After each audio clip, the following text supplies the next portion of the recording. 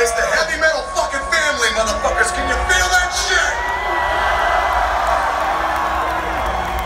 Let me tell you what that means. That means no matter where you fucking go in the world, you have family. And that family doesn't always look like you, but goddammit, they are just like you. Do you understand what I'm fucking saying here?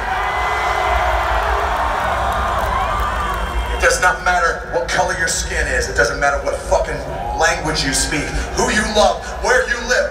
We will always fucking be goddamn family. Can you feel that? If anybody fucking tries to tell you differently, motherfucker, you look them in the eyes and you say, I challenge you to, oh!